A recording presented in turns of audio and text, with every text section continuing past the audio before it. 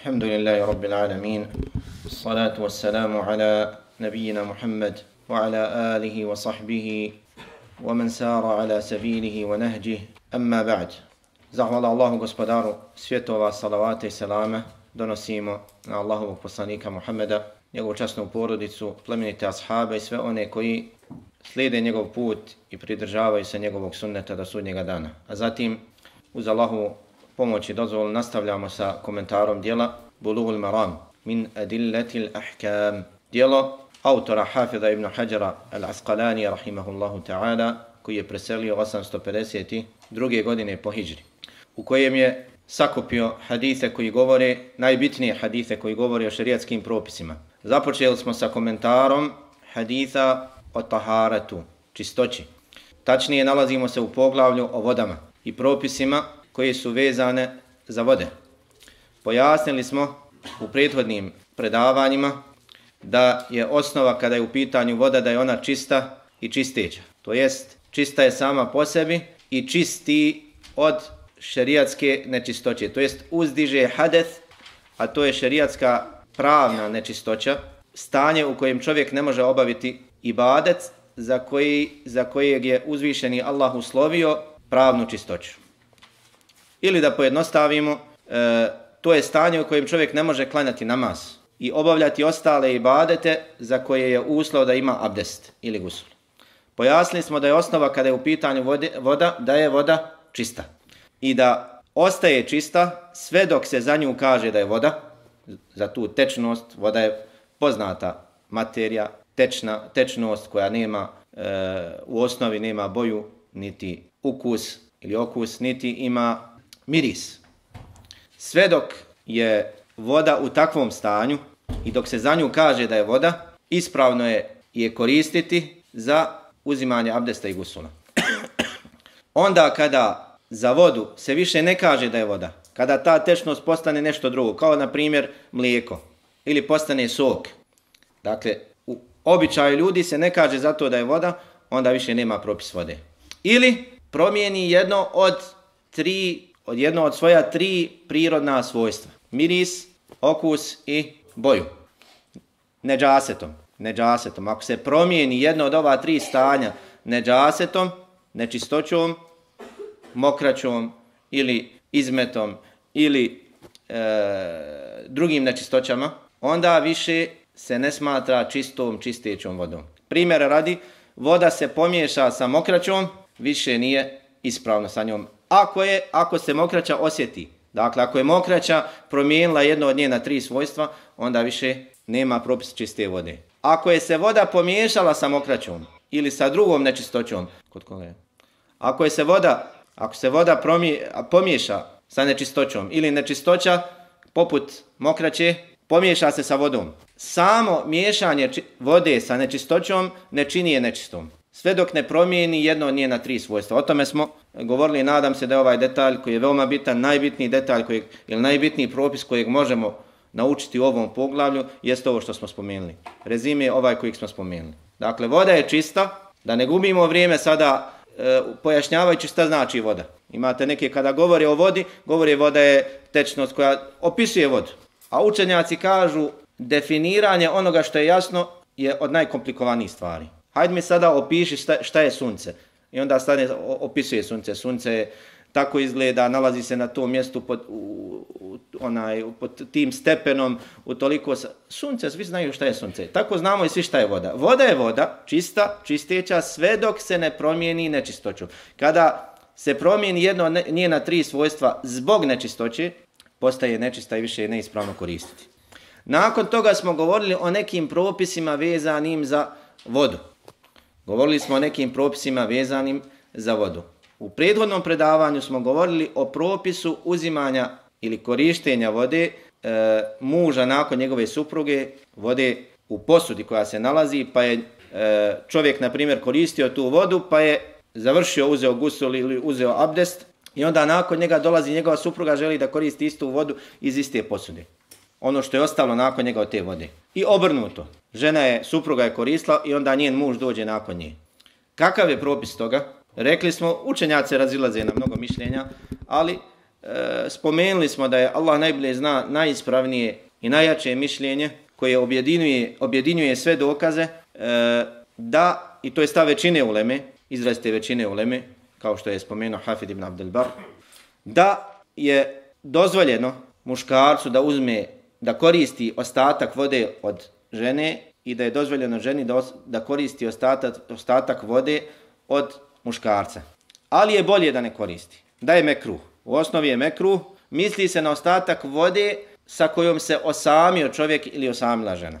Dakle, u našem vremenu, primjer radi, nalazi se voda u buretu ili u nekoj većoj posudi. I uđe u toalet, u kupatilo, čovjek. I koristi, uzima iz te posude, e, onaj, zahvati vode svojom rukom ili posudom i koristi tu vodu, završi, izađe i njegova supruga sad dolazi nakon njega, želi da se okupa istom tom vodom.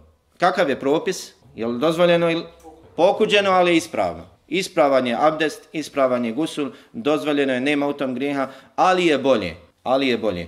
Ovdje smo imali dva haditha koja su prividno oprečna jedna, jedni, jedni drugima. Jedan je oprečan drugom.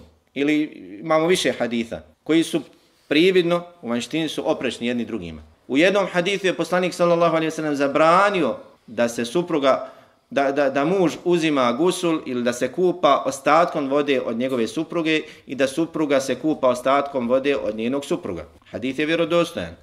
I imamo drugi hadith Ibn Abbas radijallahu anhuma da je poslanik sallallahu alaihi wa sallam koristio ostatak vode od jedne od e, svojih supruga, a to je Mejmuna radijallahu anha. Hadith je zabilježio ima muslimu sahihu. Također u hadithu koji je u sunanima, u drugom rivajetu ovog haditha, da je poslanik sallallahu alaihi wasallam došao, krenuo da uzme abdest tom vodom, pa mu je rekla ova supruga, u Allahu poslaniće, ja sam je koristila za kupanje od dženabeta. Pa je poslanik sallallahu alaihi wasallam rekao, voda ne poprima dženabet od drugog. Dakle, voda ne poprima dženabet. Ne može se voda odžunupiti. To jest, ispravno je e, koristiti i, i, i nema smetnje da se koristi. Ali je bolje ne koristiti. Bolje je ne koristiti ako čovjek ima drugu vodu. Zbog čega? Spomenuli smo da neki učenjaci pokušavaju da spomenu mudrost, koja je mudrost e, u zabrani. Neki su spomenuli da, bi, da čovjek ne bi poprimio određene vesvese, da li je ta voda čista, nije čista, nego da se zatvori, e, da se zatvori vrata tim vesvesama. E, neki su spominjali druge sebebe. Svi, sve ono što je spomenuto u tom kontekstu, rekli smo da nema za to jasnog dokaza. I da ostaje mudrost nama nepoznata. Zbog čega? je to poslanik sallallahu alejhi ve sellem pokudio, Allah najbolje zna. Allah najbolje zna. I to nam je dovoljno da je poslanik sallallahu alejhi ve sellem rekao da se to izbjegava, nama je to to dovoljno. Zbog čega? Ako možemo dokučiti mudrost, dobro jest, alhamdulillah. Ako ne možemo, kažemo, vjerujemo ono što je došlo od našeg gospodara, što nam je prenio naš poslanik, sallallahu alaihi sallam, i to je dovoljno. Večeras u kontekstu govora o propisima vode imamo nove hadise. Imamo E, nove hadise. Prvi od tih hadisa je hadis Ebu Hurere radijallahu anhu kojeg ćemo sada čuti. Bismillahirrahmanirrahim.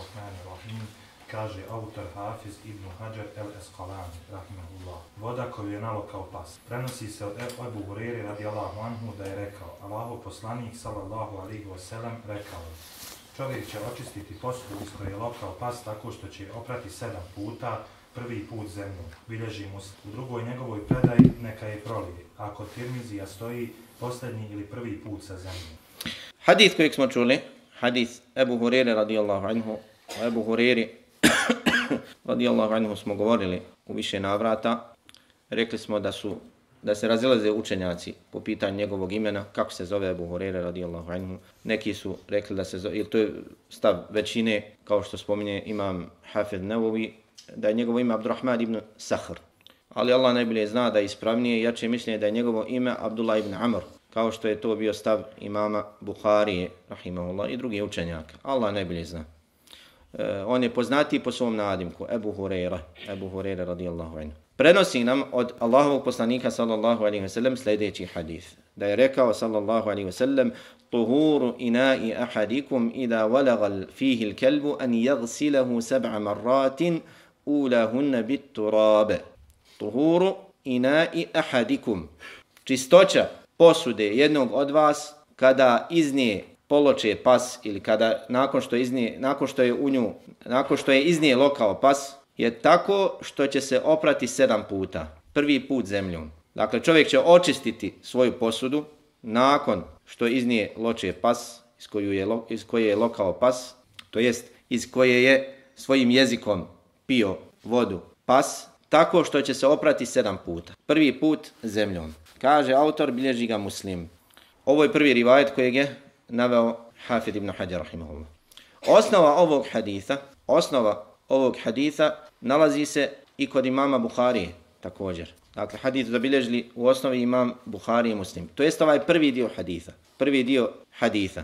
Do pranja sedam puta. Do pranja sedam puta. Rivajet kojeg, kojeg su zabilježili zajedno imam Buhari i Muslim od Ebu Hurire radijallahu anhu i to je najvjerodostojniji rivajet ovog haditha jeste ida walaga ida شرب fihi al-kalbu an طهور tuhur ina'i ahadikum ida فيه fihi al-kalbu an yaghsilahu sab'a marrat čišćenje posude jednog od vas iz koje je lokao past jeste da, da iz koje je lokao pas jeste da se opere sedam puta. Ovdje se završava rivajet imama Buhari. Spominje se dakle samo pranje sedam puta. Kod imama muslima imamo dodatak prvi put zemljom. Prvi put zemljom. Kod imama Tirmidije, i taj rivajet je spomenuo autor na kraju, posljednji ili prvi put zemljom. posljednji ili prvi put zemljom.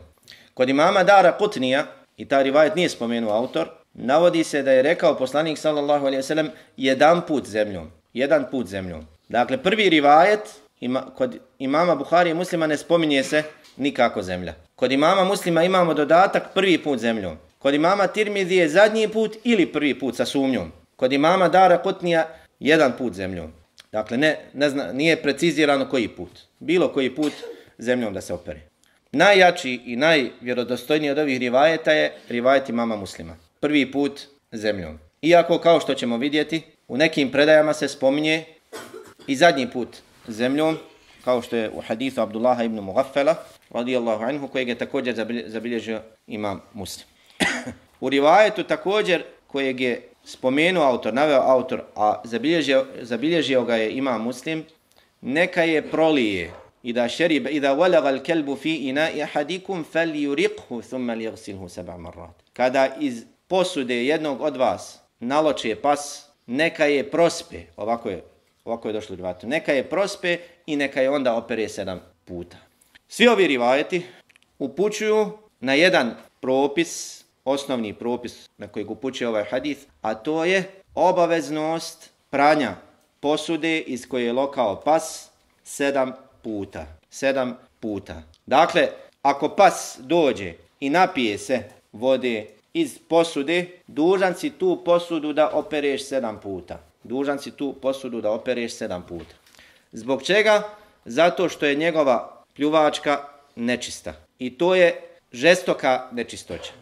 Inače, islamski učenjaci dijelu, dijele nečistoću na dvije vrste. Blaga nečistoća i žestoka nečistoća. Kada je u pitanju žestoka nečistoća, to je poput pljuvačke od psa. I sve onog što izlazi iz psa, iz, iz psa. Jer je pljuvačka ono što je najčišće na njemu. Ako je pljuvačka nečista, onda je njegova mokraća još preče da bude nečista. Ili e, izmet koji, koji ga ostavi za sebe, ili njegov znoj i tako dalje. I imamo blagu nečistoću, to je ono što se može tolerisati u nekim manjim količinama. Kao primjer radi izlazak medija. To je poznata tekućina koja izlazi iz čovjekovog polnog organa sebevom nadražaje ili uzbrukivanja strasti. To su učenjaci olakšali po pitanju toga. Primjera radi mladiću koji ima velike nagone strasti, koji ne može to kontrolisati, u manjim količinama, dakle kaplica ili tome slično, kažu neće se osvrtati na to. Onaj kod koga izlazi u većim količinama, kao što ćemo o tome inša Allah govoriti detaljnije, nije mu naređeno, to jest onaj kod koga izlazi u većim količinama, naređeno mu je da, da to opere. Alija radijallahu anhu požalio se poslaniku sallallahu alaihi wasallam da mu izlazi i medi u velikim količinama. Pa je poslao Miqdada radijallahu anhu da pita poslanika sallallahu alaihi wasallam. Pa mu je poslanik sallallahu alaihi wasallam rekao da opere spolni organ i da uzme abdest. Ili, na primjer, mokraća muškog djeteta koji još uvijek ne jede hranu. U osnovi je nečista. U osnovi je nečista. Dakle, muško dijete koje još uvijek ne jede hranu, nego doji svoju majku. Poslanik, sallallahu alaihi ve sellem, kada je upitan o toj mokraći, rekao je dovoljno je da se pokvasi to mjesto gdje, koje, koje se, koje se utopilo, e, koje se pomiješalo sa tom nečistoćom ili njegovom okraćom. Dakle, ako se e, mali dječak koji, koji još uvijek doje i ne jede, doji i ne jede još uvijek hranu, drugu mimo majčinog mlijeka, pomokri se primjer radi na platno, na, na, na, na, na ležaj ili na tepih ili slično tome, sa šarijatske strane dovoljno je samo da se to pokvasi, da se polije voda preko toga. Što nije slučaj sa mokraćom ženskog djeteta. O tome ćemo inša Allahu ta'ala govoriti. Ovdje samo navodimo kao primjer da postoje dvije vrste neđaseta. Po pitanju pljuvačke psa nije došlo olakšanje, nego je došlo otežanje. Po pitanju mokraće muškog djeteta koji, koji još uvijek ne jede hranu, poslanik sallallahu alaihi wasallam je olakšao. Nije naredio da se to opere kao što se pere neđaset i tako dalje, nego samo da se pokvasi. Dakle, olakšano je po pitanju toga. Imamo, ono što želimo reći ovdje, imamo dvije vrste neđaseta. Imamo olakšani, blagi, mali neđaset i veliki neđaset. Pljuvačka psa potpada pod koju vrstu? Žestoki, žestoki neđaset, nečistoća. I zato je u šerijatu poseban propis došao po pitanju čiš, čišćenja ove vrste nečistoće. Nećete naći ni jedan drugi hadis, ni, jednu, ni jedan drugi propis da je naređeno da se opere toliko puta neđaset kao što se spominje u ovom hadisu. Pogledajte, braćo, sedam puta je naređeno da se opere posuda, ne samo mjesto gdje je on, nego čitava posuda. To je zbog žestine tog neđaseta. Dakle, prvi propis I glavni propis na kojeg upućuje ovaj hadith jeste neđaset, nečistoća psa.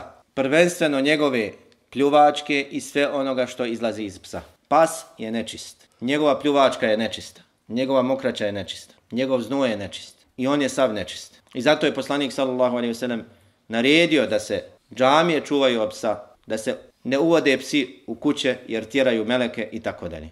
Po pitanju psa došla je olakšica u određenim situacijama, kao što ćemo o tome, inša Allah, ta'ala govoriti. Ali kada je u pitanju ovaj propis, nečistoće njegove pljuvačke, nema razlike između lovačkog psa, niti psa čuvara, niti običnog psa lutalice. Njegova pljuvačka je nečista. Njegova pljuvačka je nečista. I jedino što je došlo olakšanje jeste plijen lovinu koju ulovi pa, pas. I na tragovima tog plijena ne vidimo da je on već jeo to što je ulovio nego je samo donio svome vlasniku. Po pitanju toga je došla olakšica. I nije naređeno da se to opere sedam puta. Ali isti taj pas, ako ode i napije se vode iz posude, ima isti propis. Ima isti propis. Kao i pas lutalica. Dakle, ono što je došla olakšica jeste ono što on ulovi svome vlasniku. I donesemo, a nije, nije sam načeo taj plin. A ostalo nema olakšici. I obaveza je da se zadržimo na olakšici onoliko koliko je olakšano. I to je pravilo, uzmite ovo pravilo kada su pitanje olakšice u šerijatu. Nije dozvoljeno čovjeku da sam sebi produži olakšicu. Više od onoga što je šerijat olakšao. Ako ti uzvišeni Allah olakšao da kratiš namaze na putovanju, nije ti dozvoljeno da kratiš kad se vratiš kući još jedan dan dok si umoran. Dok se malo odmorim, ja ću kratiti, pa onda ću od sutra početi da upotpunjem. Ne, ne. Kada se vratiš svoje mjesto boravka, došao si kući, nema više krat namaz. Olakšica ti je samo na putovanju. Tako isto i ostale olakšice u šarijetu. One su tačno ograničene i obaveze da se pridržavamo šarijetskih ograničenja. Uglavnom, kada je u pitanju pas, njegova pljuvačka je nečista. I obaveza je da se opere ono što je pas, e, posudu koju znate vi, svi, kako pas pije iz posude, kako loče iz posude. Dakle, ispruži svoj jezik i onda jezikom pomjera, jezik pomjera u posudi i dodiruje strane posude, kao da liži. Svejedno, mi vidjeli psa da je dodirivao strane posude ili je samo pio jezikom sa sredine posude, nema razlike. Ta posuda je postala nečista i obaveza je da se opere cijela posuda. Ne samo dio posude, ako bi pretpostavili da je posuda veća, pa onaj dio gdje, gdje je pas lokao vodu, samo taj dio da operimo. Ne. Obaveza je čitavu posudu, jer je poslanik sallallahu alejhi ve sellem rekao da je čišćenje posude iz koje je lokao pas. Ne čišćenja dijela posude ili mjesta, nego cijela posuda. Obaveza je dakle da se opere sedam puta. I ovaj šerijatski propis, nemamo sličnog propisa u šerijatu. Pranje nečega sedam puta nemamo u šerijatu. Jedino po pitanju čega je došlo pranje naredba da se peri sedam puta jeste posuda nakon psa. I neispravno je prenositi ovaj šerijatski propis za bilo koju drugu vrstu nečistoće. Primjera radi, ako bi svinja pila iz posude, neispravno je reći obaveza je da se opere nakon svinje sedam puta. Ili ako bi neka divlja zvijer pila, osim ono što ima propis psa, za što se kaže u šerijatu da je pas poput vuka, ali na primjer, ako bi neka druga divlja zvijer pila, nije obavezan da se opere sedam puta. Ovo je propis koji je posebno vezan samo za psa. I po pitanju ovog propisa imamo dvije napomene. Prva napomena, pranje sedam puta upućuje na žestinu te nečistoće. I druga napomena, da je pranje sedam puta, to jest broj sedam puta, i mudrost u tačno tom broju sedam puta, zbog čega nije devet puta, ili nije deset puta, ili nije pet puta, mudrost toga je nama nedokučiva. Zbog čega sedam puta, Allah najbolje zna. I to se vraća na ono o čemu smo ranije govorili. U bit, u suštinu određenih propisa možemo ući sa svojim razumom i možemo dokučiti mudrost toga, a mnoge propise ne možemo. Primjer radi, zbog čega je podne namaz četiri rekata? Je li ispravno postavljati to pitanje? Zbog čega je podne četiri, a akšam tri rekata? Zbog čega nije obrnuto? Allah najbolje zna. Allah nam je tako propisao kao iskušenje nama. Mudrost. Allah subhanahu wa ta'ala zna u tome. Zbog čega se na noćnom namazu uči na glas, a na dnevnim namazima u sebi? Allah najbolje zna. Mudrost toga, zbog čega je akšam tri rekata, a sabah dva rekata, nije nam poznata i ne možemo to lahko dokučiti. I ne trebamo se time opterećavati. Ali, na primjer, imamo druge šerijatske propise u čiju mudrost možemo, ili djelimičnu mudrost možemo dokučiti. Primjera radi, zbog čega je Allah zabranio alkohol? Ha? Možemo ovdje sada možda, možda deset mudrosti u tome spomenuti. Rasipanje metka, štetnost, e, e, nezahvalnost Allahu na blagodatima, e, može biti sebe da čovjek uradi ono što je, što je veće zlo od toga. Možemo sada spomenuti mudrosti. Dakle, mudrost toga možemo dokučiti. Neki od mudrosti. Potpunu mudrost Allah subhanahu wa ta'ala jedini zna jer je on sve znajući. Zbog čega je Allah subhanahu wa ta'ala naredio ženi hijab? Mudrost toga možemo dokučiti. Zbog čega je muškarcu zabra, naredio da obori pogled? Možemo, za, možemo dokučiti mudrost toga. Zbog čega se prvo ide na, muzdeli, na, na arefat pa onda na, nakon toga na muzdelifu? Allah ne. Možemo pokušati pokušat da dokučimo mudrost toga zato što je arefat dalje pa posle arefata, ali Allah najbolje zna. Mogao je Allah subhanahu wa ta'ala to da, da poreda na drugi način zbog čega se daje 2,5% zekata na, na imetak, na, na novac, što nije 5%, Allah najbolje. Što nije 3%, što Allah najbolje zna.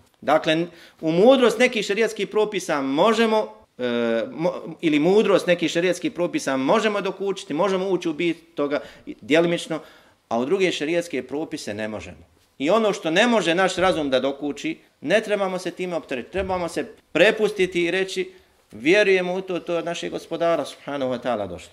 Tako isto i ovdje imamo naredbu da se pere posuda, da se očisti posuda sedam puta vodom nakon što je iznijelo kao pas. Zbog čega sedam puta? Tako nam je rekao poslanik sallallahu alejhi ve sellem. Allah najbolje zna. Ali djelimičnu mudrost koju možemo da zaključimo jeste da nije naređeno pranje više puta osim zbog žestine nečistoće. To je jasno. Jer šerijat nije došao sa propisima sličnim tom propisu gdje čovjek je propisano da gdje je propisano čovjeku da rasipa vodu. Jer je u tome, ako bi rekli da nema neke mudrosti, bilo bi rasipanje vode. Sedam puta pereš posudu bez, bez potrebe, trošiš vodu. Pogotovo u njihovom vremenu voda je bila i tekako vrijedna.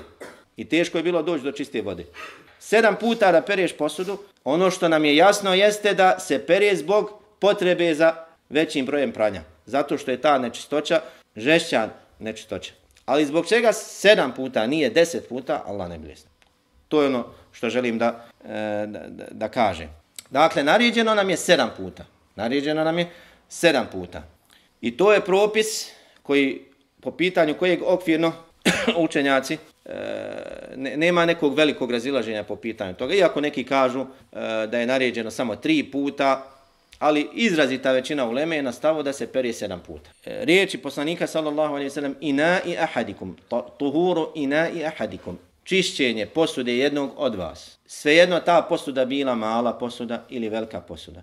I svejedno pljuvačka pala na neko drugo mjesto ili kada bi pretpostavili da pas dakle svojim jezikom dodirne tvoju odjeću. Ima isti propis. Ima isti propis. I ono što je preče kijasom, analogijom od pljuvačke, a to je poput krvi, njegove krvi ili mokraće. Primjer radi, pas se pomokri ispred tvoje kuće. I na to mjestu želiš da klanjaš namaz, da bi ti namaz bio ispravan, moraš to sedam puta vodom oprat i ostalo što će biti spomenut. To je stav jednog dijela učenjaka, dok dio uleme kaže da je ovaj propis vezan samo za njegovu pljuvačku. I taj stav također je, je jak. Da je propis samo vezan za njegovu pljuvačku, iako je predostrožnije, predostrožnije i sigurnije da čovjek primijeni ovaj način pranja na bilo koji vid, e, na, na, na bilo koji dio e, nečistoće ili bilo koju vrstu nečistoće koja, koja dolazi od psa. Dakle, svejedno njegova pljuvačka ili mokraća ili krv ili, ili izmet ili znoj i ostalo. Dakle, stav da je samo propis vezan za pljuvačku je jak stav. Jer je poslanik sallallahu alejhi ve sellem spomenuo samo lokanje psa, nije spomenuo njegovu mokraću i tako dalje, ali je predostrožnije.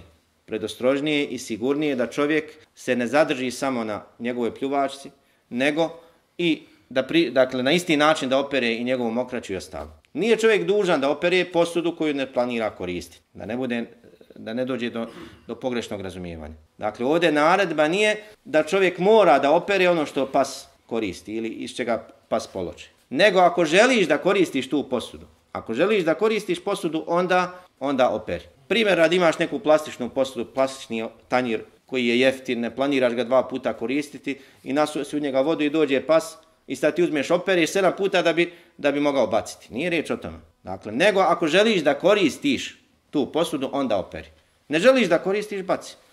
Pas se negdje pomokrio ispred tvoje kuće, nema smetnje da opereš samo vodom, proliješ na to onaj posudu vode, jer tu ne planiraš klanjat, ne planiraš tu sjedit, ne planiraš. Ali ako želiš da klanjaš na tom mjestu, da bi bilo čisto mjesto, isto što ti nije, dužno, nije obaveza da očistiš neđazet kada ga vidiš na, na ulici. Nego ako želiš na tom mjestu da klanjaš. Dakle, o tome je riječ. Posuda, koristiš je, vidio si da je iz nje polo kao pas, očisti je ako želiš dalje da, da koristiš. U rivajetu kod imama muslima kaže poslanik sallallahu alaihi wa sallam Ula hunne bit turab prvi puta sa zemljom. Prvi puta sa zemljom. To jest, kada pereš sedam puta, nakon lokanja psa, sedam puta kada pereš, prvi put kada pereš, prvo pranje, trebaš da pomiješaš sa zemljom. Dakle, e, napraviš kao blato i istrljaš posudu mješavnom, dakle, između vode i, i, i, i, i zemlje. I onda nakon toga opereš šest puta samo vodom. I ovaj rivajet je ispravniji sa strane razuma i logike sa te strane, sa strane da ako bi rekli da se pere zadnji put sa, sa zemljom, to bi značilo da se mora još jednom oprat nakon toga, jer će ostati zemlja. Ali kada peremo prvi puta sa, sa zemljom, sa blatom, dakle, operemo e, tu, vodu, e, tu posudu sa, sa, sa zemljom i vodom i onda nakon toga operemo šest puta samo sa vodom, posuda ostaje čista. Rivajet kod imama Tirmidi je pr posljednji ili prvi puta sa zemljom, Allah najbolje zna da je sumnja ovdje od strane ravije. da to nisu riječi poslanika sallallahu alejhi ve sellem sa sumnjom. Dakle nije rekao poslanik sallallahu alejhi ve sellem posljednji ili prvi put, nego je ravija onaj koji prenosi jedan od ravija u lancu prenoslaca nije zapamtio dobro pa je posumljao. Ne znam je li rekao zadnji, posljednji ili prvi put. Također i rivayet kod imama Dara Kutnija iako je osnovi slab, ali ako bi ga prihvatili isto možemo reći za njega. Da ravija nije dobro zapamtio. Pa je, ne, ne sjeća se da li je rekao poslanik sallallahu alejhi ve sellem prvi put ili pa je rekao jednom vodom da se opere. Sa strane jačine seneda lanca prenoslaca ova predaja kod imama muslima je najjača. A i najispravnija rekli smo sa koje strane. Jer ako bi pravo posljednji put sa zemljom, ostala bi zemlja, onda bi značilo da se opere još jednom nakon toga. Dakle, propis je da se opere sedam puta, prvi put da se pomiješa sa zemljom, i onda nakon toga šest puta da se opere vodom. To je propis. Da li je ispravno umjesto vode koristiti primjer radi šampon ili deteđent ili nešto slično tome? Allah najbolje zna da nije ispravno osim u nuždi.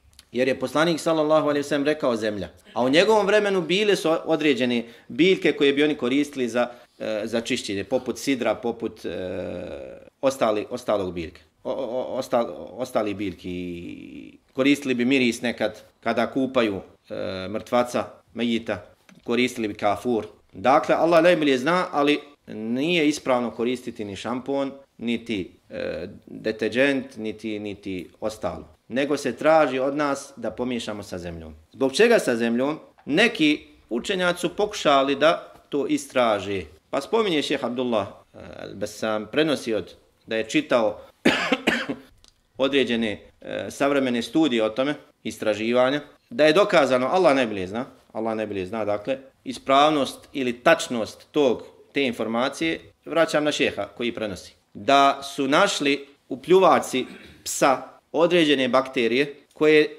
je nemoguće odstraniti osim sa zemljom. Ako je to istina, ako je to istina, a nije čudno da bude istina i nemoguće, ako je to istina, onda je to također jedan od znakova istinitosti Allahovog poslanika sallallahu alejhi ve sellem, njegovog poslanstva. Jer je tada prije koliko godina, više od 1400 godina nas je uputio na to da perijemo pljuvašku od psa sa zemljom i vodom, a to su nakon koliko godina otkrili, dakle, analizama i istraživanjima, da se u njegovoj pljuvaci, u pljuvači psa, nalaze bakterije koje je nemoguće ostraniti osim sa zemljom. A inače, poznato je, poznato je da zemlja ima, ima u sebi tu, dakle, to dejstvo da ubija bakterije. I zato je Allah subhanahu wa ta'ala stvorio zemlju i glavne dvije komponente na zemlji su kopno i, mu i voda. Dakle, voda i, i zemlja. I zato je propisano da se mrtvac, mejit, ukopa u zemlju. I zemlja ta ubije bakterije.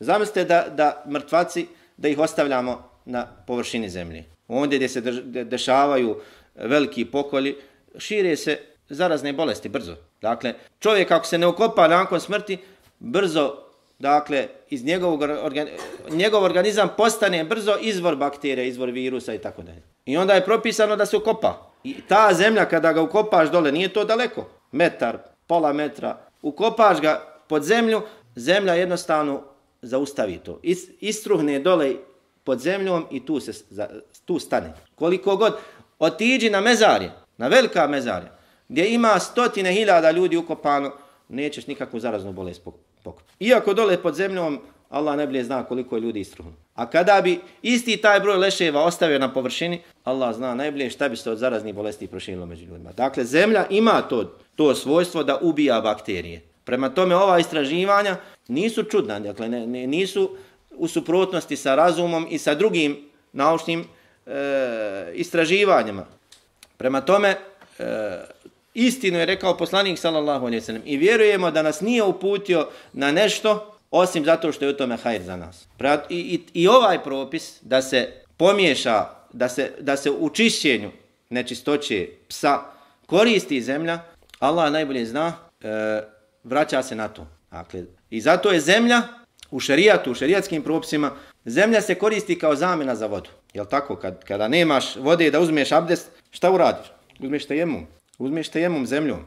I poslanik sallallahu alaihi wasallam govorio, kao što je došlo u hadithu e, kod imama Tirmidije, od Ebu Dharra radijallahu anhu, As-sa'idu tahurul muslimi, as-sa'idu tahurul muslimi, wa illam yajid al-ma'a ašre sinin. Kaže, zemlja je čista, zemlja čisti mu'mina, kada ne bi vodu našao i deset godina. Čak kada ne bi vodu našao i deset godina, dovoljna ti je zemlja. Dovoljna ti je zemlja. Dakle, zemlja u sebi ima i čovjek je stvoren u osnovi od zemlje, jel tako? Prema tome, to što je nas je poslanik, sallallahu alaihi ve uputio na to da čistimo tu nečistoću sa zemljom, Allah najbolje zna, u tome se krije ta mudrost. Jer zemlja ima posebnost kada je u pitanju čišćenja. Dakle, propisano je sedam puta oprati.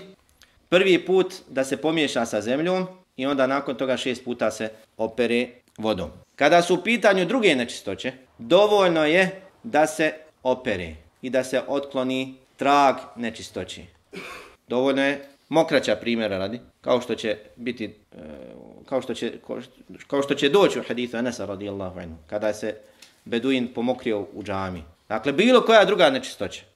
A govorili smo i navodili smo primjere nečistoći. Obaveza je da se opere vodom, obaveza je da se opere vodom i da se ukloni trag te nečistoće. Koliko puta, onoliko koliko je dovoljno da se otkloni. Onoliko koliko je dovoljno da se otkloni. Dakle, imaš nečistoću na odjeći. Tužan si da operiš. Ako ostane trag, primjer radi izmet, ostane, vidiš da ni ga nisi uklonio, nisi uklonio, dužan si da otkloniš kroz, da, ust, da ostraniš, operiš vodom. Jedan put, ako jednim pranjem očistiš, dovoljno, ne moraš sedam puta. Sa dva pranja, sa tri pranja, sa četiri pranja.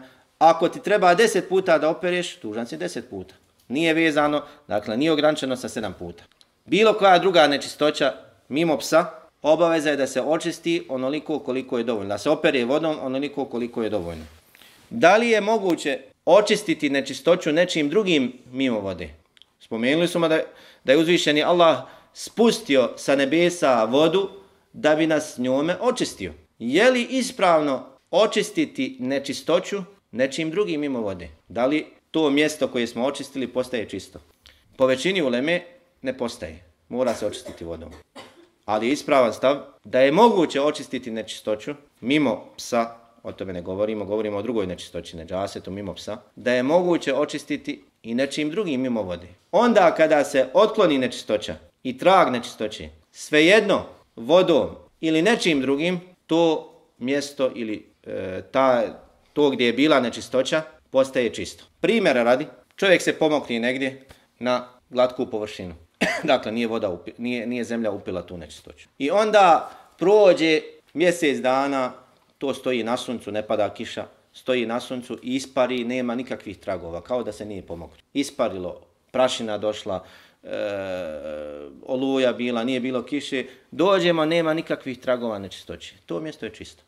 To mjesto je čisto. Danas imamo ove primjer radi vlažne maramice, očistiš vlažnom maramicom mjesto, nema nikakvih tragova nečistoće, postaje čisto. Alkoholom, ovim medicinskim, obrišeš po učenjacima koji smatraju da je, da je čist, obrišeš mjesto, nema tragova nečistoće, postaje čisto. Zemljom očistiš, postaje čisto. Savremenim ovim e, sredstvima ili hemikalijama za čišćenje, koje nemaju propis vode, rekli smo, voda se smatra vodom sve dok, dok se u običaju naziva vodom. Primjer, rad sada imamo ovu tečnost za pranje e, glatkih podova. Je li to voda? Nije. Ima u sebi komponentu vode, ali nije to voda, ne kaže zato da je voda. Ako bi uzeo tu sad tečnost i obrisao mjesto gdje se nalazi mokraća sa, tom, sa tim sredstvom za, za čišćenje, ispravno je. I to mjesto postaje čisto. Ne moraš vodu koristiti. Dakle, bitno je da se odstrani trag nečistoći. Na koji način? Nije bitno. I zato, e, iako hadith ima Eh, slabost u lancu prenosilaca, ali učenjac koriste ga u ovom kontekstu, kada je jedna žena upitala poslanika sallallahu alaihi wasallam o džilbabu koji se vuče po zemlji. Pa kaže, na zemlji ima nečistoće, pokupi za sobom nečistoću. Pa kaže poslanik sallallahu alaihi wasallam, yutahhiruha ma ba'daha. Kaže očistit će je ono što dolazi nakon toga. To jest ako pokupiš neku nečistoću svojim džilbabom, nakon toga ćeš preći džilbavom preko zemlje, preko drugih stvari koji će to očistiti. Dakle, nije naređeno da se opere, nego, dakle, ako se vuče džilbab i pokupiš i ono što je nečisto, sigurno će to nakon toga doći zemlja, prašina, drugo što će očistiti taj tu nečistoću. Dakle, kada je u pitanju pas, imamo ovaj propis sedam puta i mora se vodom. I mora prvi put sa zemljom. Ostala vrsta nečistoće, ostale nečistoće, nije obaveza da se perje sedam puta, ni, najpreče je da se opere vodom, i to je osnova kada je u pitanju čišćenje, ali ako bi se očistilo nekim drugim sredstvom mimo vode i otklonio se trag nečistoće, to mjesto ili taj predmet posuda postaje čisto. Autor je također naveo rivajet kojeg je, zabilje, kojeg je zabilježi ima muslim, a to je neka je prolije. To je dio haditha kojeg prenosi Ali ibn al-Mushir od Sulejmana ibn Mihrana al-A'meša. A on prenosi od, od A'meša i Ebu Saliha, a on, oni prenose od Ebu Hurere radijallahu anhu. on od Ebu Saliha, a on od Ebu Hurere radijallahu anhu. Dakle, uh, Ali ibn Mishir prenosi od A'meša i Ebu Razina, on prenosi od, on, ni dvojica prenosi od Ebu Saliha, on od Ebu Hurere radijallahu anhu. U većini predaja, to jest u svim drugim predajama ovog haditha od Ebu Horere radijallahu anhu ne spominje se ovaj dodatak neka prolije. I taj dodatak, tu dopunu, neka prolije, ne prenosi niko osim Alija ibn Musira. A Ali ibn Musir je u osnovi pouzdan ravija, međutim učenjaci su prigovorili ovom njegovom dodatku. I većina uleme, poput Ebu Hatima, imama Nesaije i drugi, kažu da ovaj dodatak je greška. Iako je zabilježio ovu predaju, ili ovaj hadith zabilježio imam muslim. Ali ovaj dodatak, fel yuriqhu, ili neka prolije tu posudu, nije vjerodostojan. E, I na osnovu toga se vezuje šerijatski propis, ili na to se nadovezuje šerijatski, naslanja se šerijatski propis, a to je da li je čovjek dužan da prolije ostatak vode ili onoga što se nalazi u posudi nakon što je iznijelo kao pas ili pio pas. Ovaj rivajet koji je zabilježi ima muslim upućuje da je obavezan da prolije. Primjer radi, došao je pas i napio se iz posude u kojoj ima 100 litara vode. Dužan si da proliješ svu tu vodu i da opereš posudu. Ili došao je pas, u posudi se nalazi maslo koje je skupo, skupo cijeno. I dođe pas i poliže malo tog masla, dužan si čitavo, čitavu posudu i svo maslo da baciš. I ostalo. U posudi se nalazi meso, dođe pas, uzme jedan komad mesa, dužan si sve da baciš. A tu puće ovaj rivajet. Ali rekli smo, Allah najbolje zna da ovaj rivajet nije ispravan, iako ga je zabilježio ima muslim. Dakle, ovo je greška od strane Alija ibn Musira. Prema tome, propis pranja je vezan samo za posudu. Ako bi se u posudi nalazila tečnost, možemo reći, možemo reći da je ispravno proliti sve. Ali ako se nalazi nešto što je u čvrstom stanju, poput mesa, poput masla, onda je dužno samo da se taj dio gdje je lokao pas ili koji je gedirao pas, da se taj dio ostrani, a ostalo je dovoljno da se opere i dozvoljeno je da se koristi. Jer je u tome čuvanje imetka muslimana. Ako bi rekli da je obavezda da se prospije čitava posuda i sve što se nalazi u posudi da se ne može koristiti, u tome je velika poteškoća. U tome je velika poteškoća. Prema tome, ako je riječ o tečnosti, preče je predostrožnije i sigurnije, pogotovo ako je riječ o manjoj količini tečnosti, da se to sve prolije. Ako je riječ o nečemu što je u čvrstom stanju, onda ne. Samo odstraniš onaj dio kojeg je dirao pas. I o tome će, inša Allah, biti govor e, naknadno, inša Allah. Došao je i drugi hadis o ovome, sličnog značenja, ali ne od Ebu Horire. Prenosi ga Abdullah ibn Mughaffel i zabilježi ga imam muslim također. A to je da je poslanik sallallahu alaihi wa sallam rekao u istom značenju da se posuda čisti nakon što je iz nje pio pas sedam puta i onda je na kraju ovog haditha kaže poslanik sallallahu alaihi wa sallam وَعَفِّرُوهُ ثَامِنَةَ بِتُّرَابِ I očistite osmi put sa zemljom. Očistite osmi put sa zemljom. Kako sada spojiti između ovih predaja? Hadith je vjerodostojan. Neki učenjaci kažu da je spomen osmog puta na osnovu ukupnog broja pranja sa vodom i sa zemljom. Jer ako perijemo šest puta samo sa vodom i sedmi put sa vodom i sa zemljom, to jest imamo pranje i sa vodom i sa zemljom, to su dodatna dva pranja. Što bi bilo osam pranja. To jest računa, kao da se ovom rivajetu računa pranje sa zemljom kao dva pranja. To jest očistite sedam puta i osmi put, to je sedmi put kada budete prali, neka osmo pranje zajedno sa sedmim putem bude osmo pranje sa zemljom. To je stav jednog dijela učenjaka. Drugi kažu ne. Ovdje imamo dodatni šerijatski propis a kojeg prenosi Abdullah ibn Mughaffel, a prednost se daje onome koji prenosi dodatak, novo znanje. Ebu Horere radijallahu anhu je zapamtio sedam puta. Sedam puta, prvi put sa zemljom. Dok Abdullah ibn Mughaffel prenosi dodatno znanje. Prenosi dodatno znanje i obaveza je da se prihvati. To jest da radimo po onome, po, po, po znanju kojeg prenosi onaj koji prenosi više. Jer u njegovoj predaji se, njegova predaja obuhvatila i predaju Ebu Hurere i još spominje dodatni detalj. I kažu propise ili pravilo je da, pravilo je da kada imamo prenosioce koji su pouzdani, da ne odbacujemo rivajet ni jednog ni drugog ako možemo da ih pomirimo ili ako jedan prenosi koji je pouzdan u osnovi, prenosi ne dodatak. Da bude jasnije, nabešemo primjer. Kada bi sada sa vrata ušao čovjek, jedan Muhammed, i, rok, i rekao nam, ispred kuće se nalaze dva auta. I onda nakon njega dođe Ahmed, kojeg također znamo da ne laže. I kaže, ispred kuće se nalaze tri auta. Kome ćemo dati prednost ili čijem, či, či, čijem obavije, čijoj obavijesti ćemo dati prednost? Onom koji govori da imaju tri auta. Zbog čega? Jer on nije rekao da je prvi slagao da imaju dva auta. Imaju dva auta, ali ima još jedno auto. On nam prenosi dodatno znanje. Onaj koji je rekao da imaju dva auta, nije slagao. Samo je ovaj drugi rekao da imaju tri auta, dakle ima dodatno znanje. Vidio još jedno auto koje nije vidio ovaj. I daćemo prednost onome koji dolazi sa dodatnim znanjem. pa tako je ovdje kažu, Abdullah ibn Mughaffel radijallahu anhu prenosi nam dodatno znanje. Kaže osmi put sa vodom. Osmi put sa zemljom. Osmi put sa zemljom. Allah najbolje zna, e, ali preče ispravnije jeste da se pere sedam puta, kao što je došlo u hadithu koji je mutefakun ali sedam puta od Ebu Hurire radijallahu anhu. Te predaje sa strane lanaca prenoslaca su jači. Sedam puta da se pere, sedam puta da se pere i da bude prvi put sa vodom. To je, Allah najbolje zna, najjače i najispravnije. Najjače i najispravnije. A što se tiče haditha Abdullah ibn Mughaffala, e, dakle Allah najbolje zna, e, prvi put sa zemljom, prvi put sa zemljom da se pere, sedam puta se opere vodom i prvi put sa zemljom. A što se tiče haditha Abdullah ibn Mughaffala radijallahu anhu, Allah najbolje zna, e, dakle, vraća se na, na eh, e, sam, samo računanje.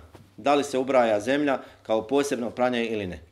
E, s tim što u hadithu Abdullah ibn Mughaffala imamo osmi put sa zemljom koji pojačava rivajet imama Tirmidije koji je prenio prvi, posljednji ili prvi put. Što bi značilo da nije bitno koji put da opereš zemljom, bitno je da jedno pranje bude sa zemljom. Bitno je da jedno pranje bude sa zemljom, svejedno prvo ili drugo ili treće ili sedmo. Bilo koji put da opereš sa zemljom, e, dovoljno je. I to je ispravnije, Allah najbolje zna da je kada bi oprao čovjek treći put primjer, ili četiri put sa zemljom i nakon toga opere još tri puta sa vodom, da je postigao ono što se traži od njega. Ali je najpreče najpreće i sa strane rivajeta najjače, da se perje prvi put sa zemljom. I nakon toga šest pranja da bude sa, sa vodom samo. Allah najbolje zna, salavate i selame donosimo na Allahom poslanika Muhammeda, njegovu časnu porucu i plemijete sahabu.